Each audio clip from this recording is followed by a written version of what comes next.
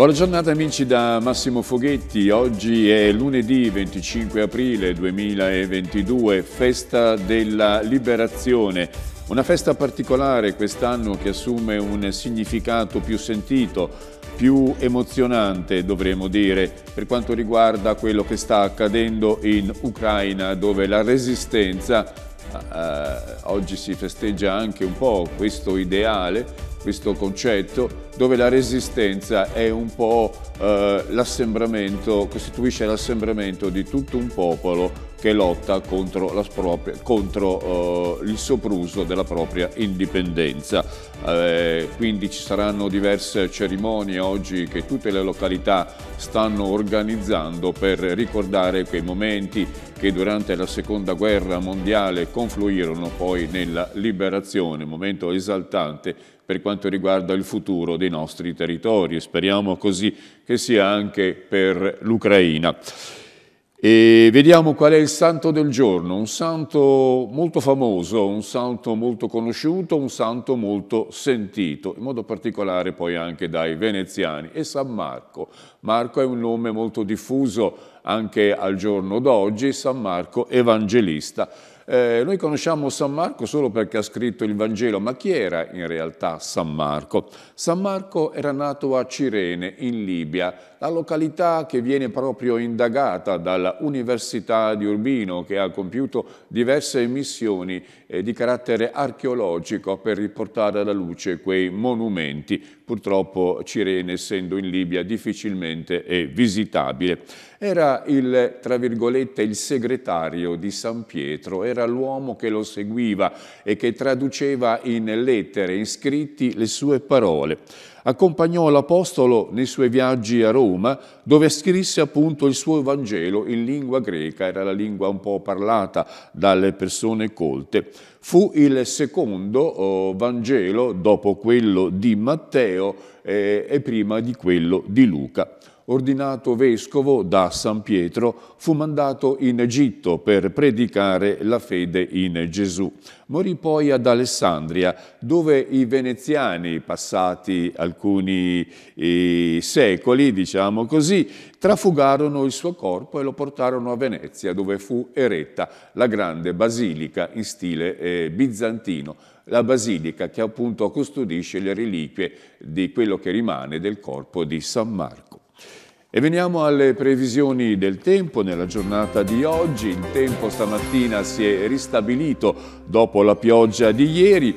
Vediamo però che nubi irregolari ed ampie schiarite si alterneranno nel corso della giornata.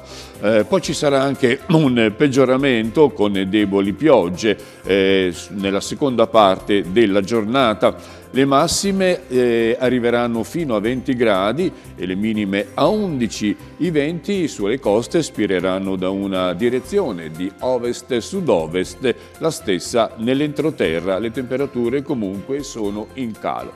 E per quanto riguarda le notizie, vediamo che le notizie a carattere nazionale eh, si accentrano su due questioni. Uno, la vittoria di Macron in, Spa in Francia. Macron fa il bis, l'Europa respira, ha intitolato oggi il resto del Carlino sulla pagina nazionale, mentre la fotonotizia è riservata ad una immagine che fa riflettere, un'immagine che parla di ipocrisia. Il diavolo è l'acqua santa, l'immagine di Putin che si fa il segno della croce nel giorno della Pasqua eh, ortodossa, regge in mano una candela, però nel suo volto si rispecchiano tutti i drammi, tutti gli, diciamo così, gli eccidi che il suo esercito sta facendo in Ucraina con la morte di tanti tanti bambini.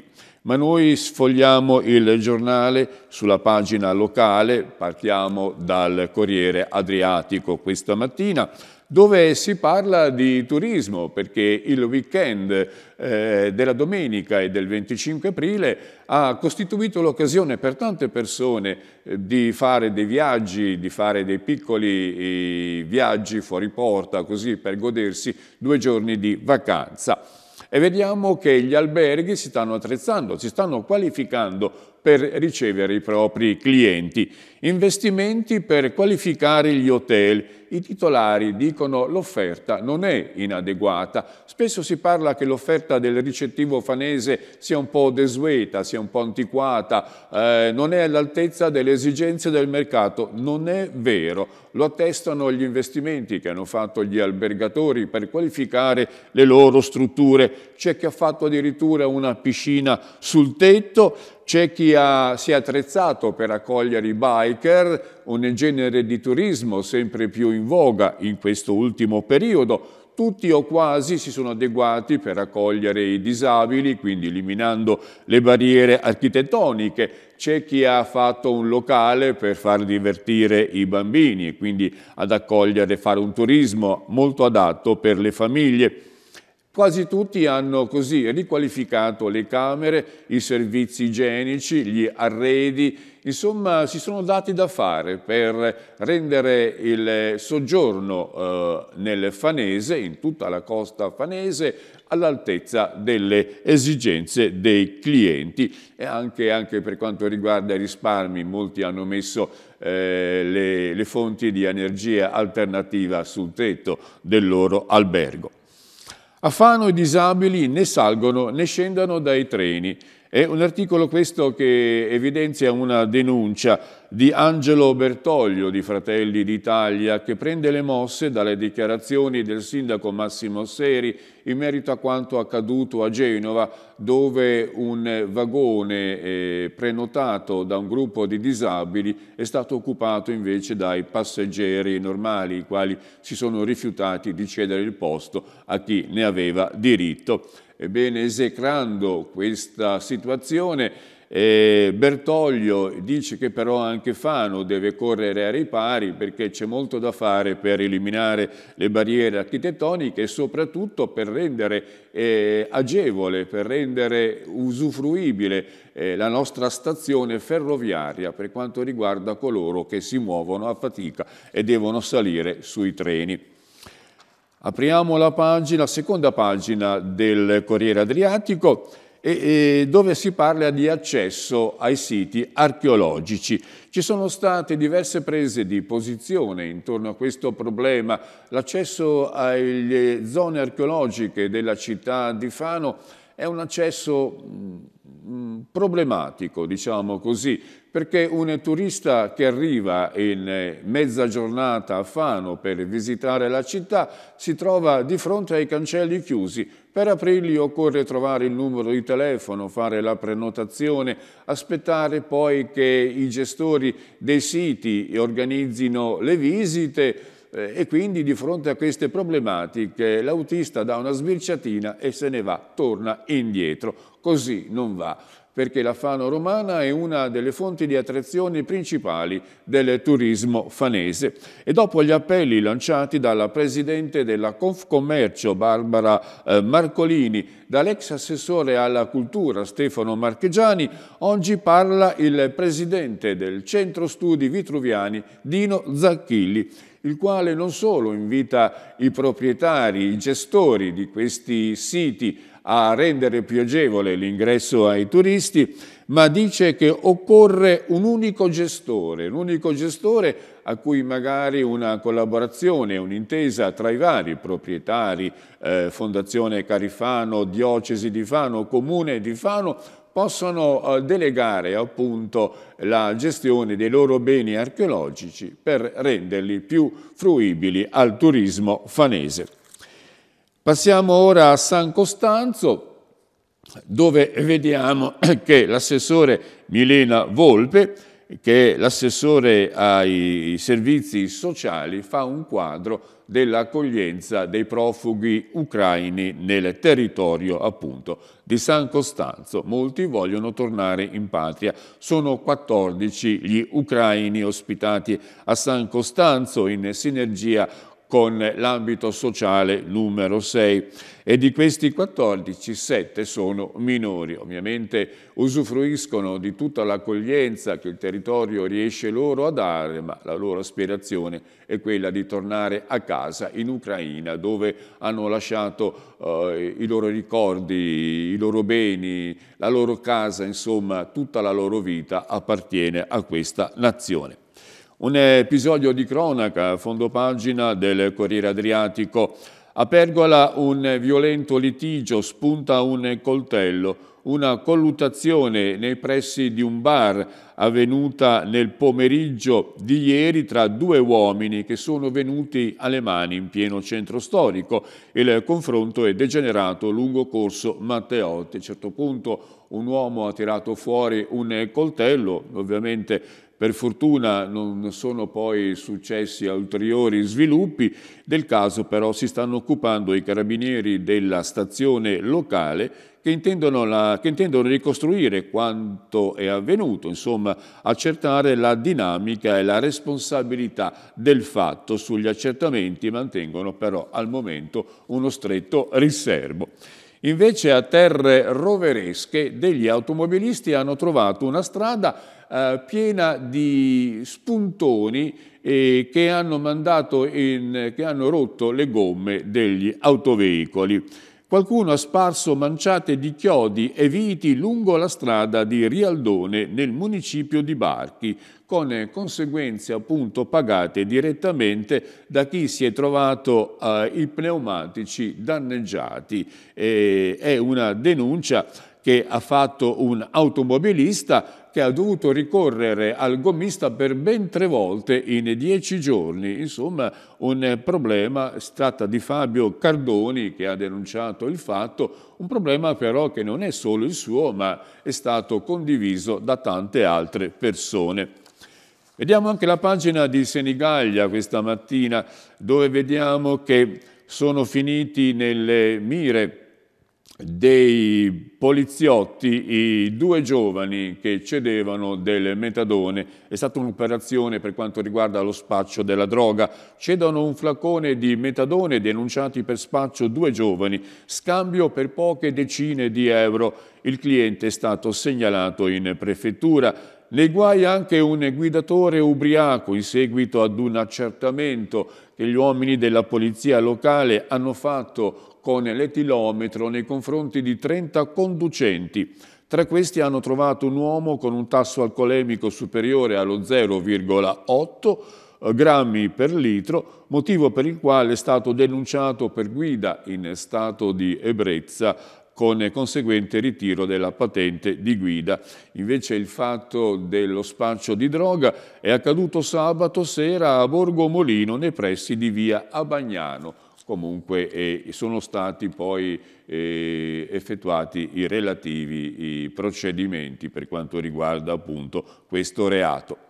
E veniamo anche ad, ad un ulteriore articolo per la scomparsa di Andrea Rabciuk, eh, la ragazza di cui non si sa più nulla, le chat cancellate ed il sangue sul giubbino sono degli indizi su cui stanno, oh, in, stanno mh, inquisendo eh, appunto eh, gli uomini, gli inquirenti della polizia, eh, soprattutto per quanto riguarda la posizione del fidanzato Andrea. Il giallo di Andrea in mano ai consulenti. La procura ipotizza per ora il sequestro di persona per la difesa però il, del fidanzato, la ragazza, è andata all'estero e non sarebbe stata eh, così... Eh, non sarebbe stata insolita a fare queste scappate, secondo appunto i difensori del ragazzo.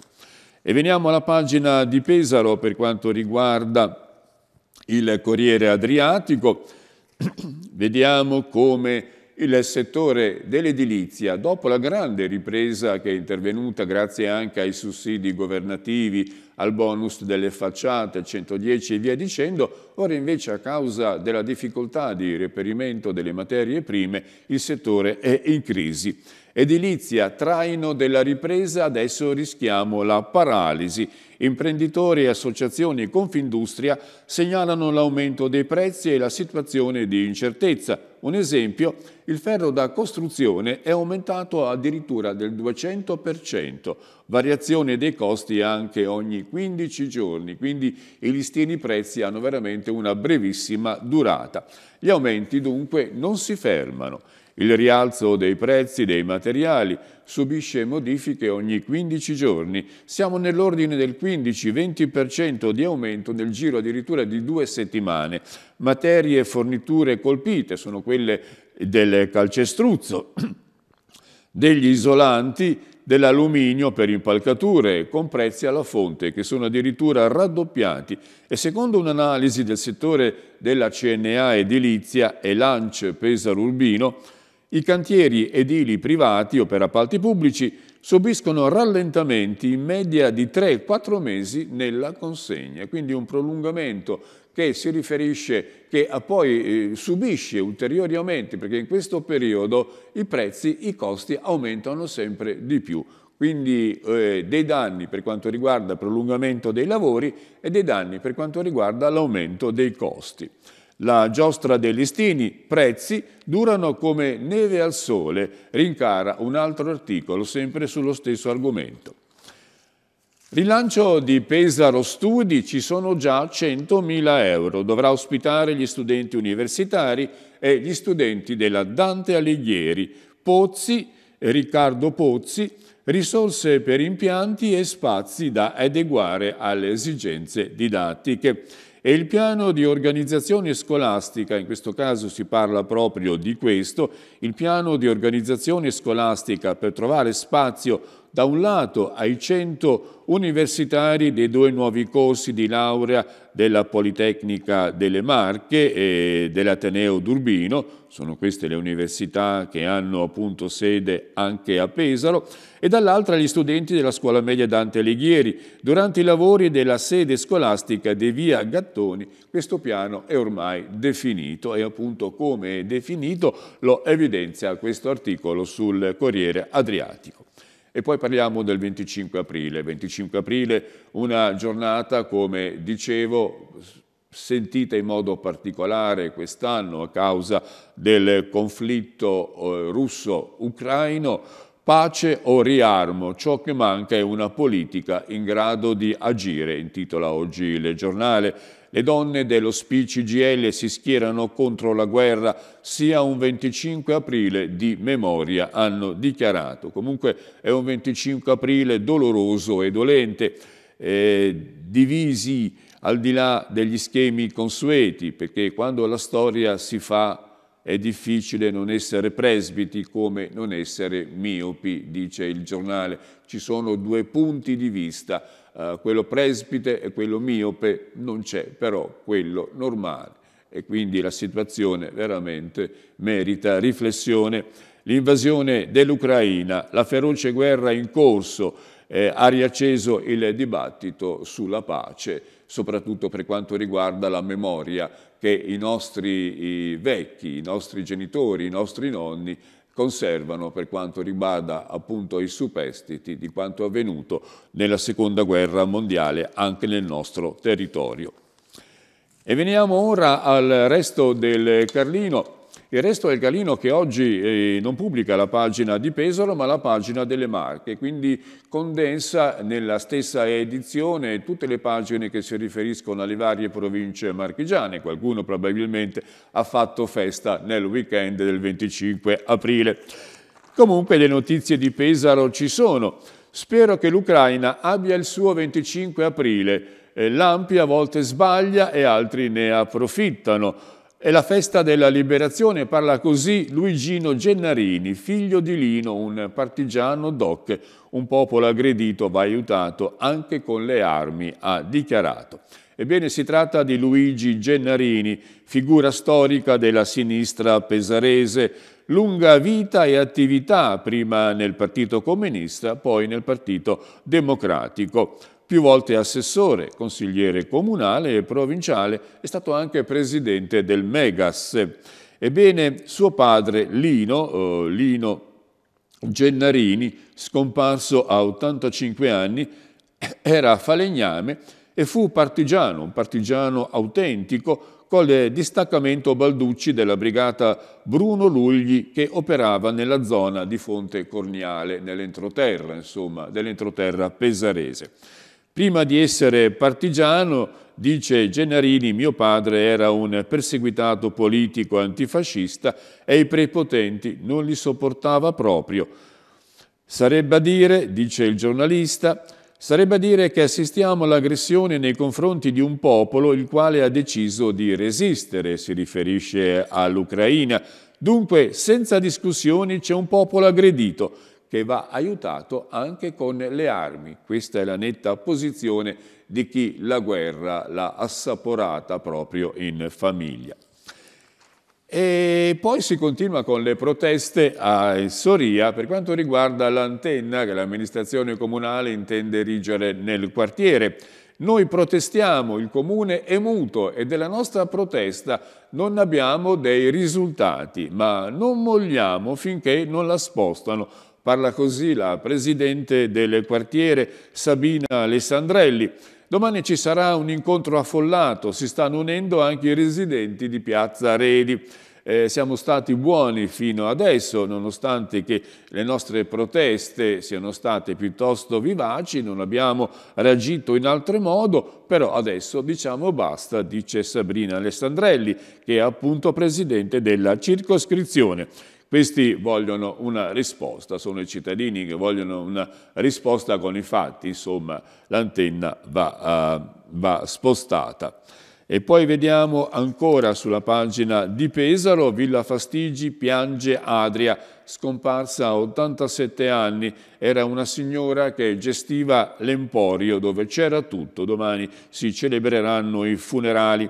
Adria era una donna conosciutissima a Villa Fastigi e non solo. Aveva fondato giovanissima il negozio Emporio Adria di mangimi, casalinghi, ferramenta e molto altro, ben 61 anni fa facendosi poi aiutare dalle figlie che tuttora continuano la sua attività. Era una donna di quartiere, una donna di frazione, una donna però a cui facevano riferimento tante tante famiglie e queste quando si crea un rapporto così, un rapporto stretto di amicizia, di fiducia, di collaborazione, bene, la scomparsa si sente e fa male un po' a tutti coloro che hanno conosciuto questa signora.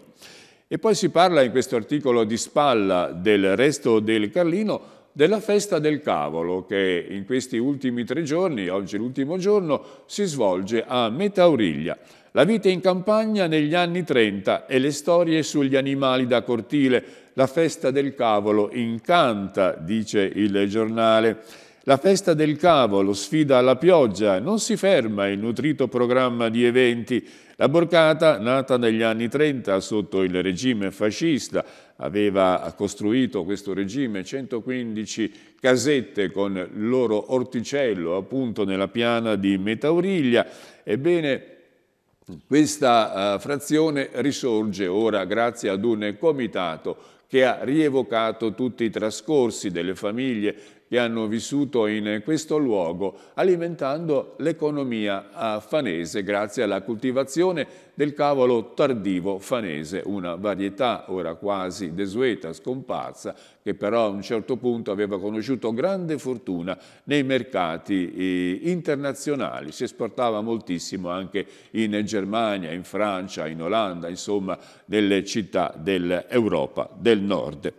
E per quanto riguarda invece quest'ultimo weekend, a Fano ci sono state diverse, diverse manifestazioni. Ricordiamo per esempio la mostra che si è inaugurata alla Rocca, uh, alla Rocca Malatestiana sabato scorso, ricordiamo la tre giorni organizzata dal Circolo Bianchini nella sala del Gonfalone, tre giorni dedicati al Giappone. Ricordiamo appunto la festa del cavolo che si è svolta a Metauriglia, ricordiamo anche l'incontro che ha organizzato la Fondazione Carifano a San Domenico dove si sono esposti i risultati delle analisi chimico-fisiche compiute su un capolavoro pittorico di grande rilevanza, ovvero il matrimonio della Vergine del Perugino. Sono stati eh, momenti di attrazione per questo ultimo weekend e dobbiamo dire che è stato un peccato che è stato rinviato anche la festa della via dei Ciliegi. Ieri nel pomeriggio ha piovuto e quindi la festa non si è potuta tenere, verrà rinviata in un altro giorno. E stiamo per concludere la nostra rassegna stampa. Oggi abbiamo tempo anche per qualche notizia di sport, purtroppo non sono positive per le squadre locali, anzi dobbiamo dire che sono senz'altro negative.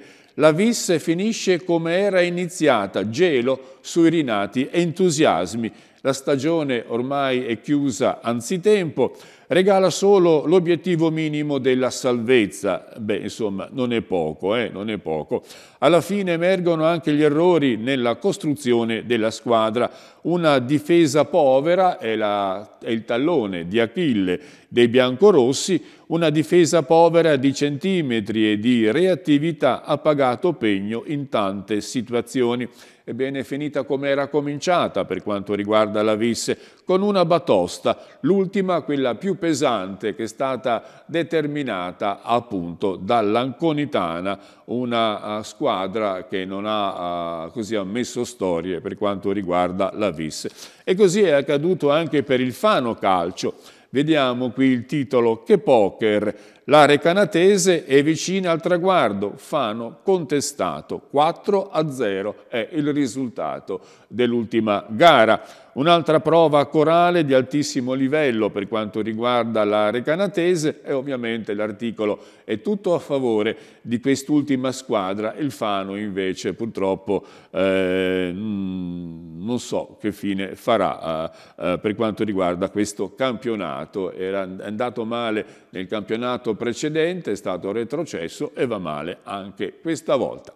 Ebbene, era l'ultima notizia, speriamo che domani la situazione migliori, ci siano notizie migliori per quanto riguarda appunto la cronaca e a me intanto non rimane che salutarvi e augurarvi una buona giornata. Ci risentiamo domani alle ore 7. A risentirci.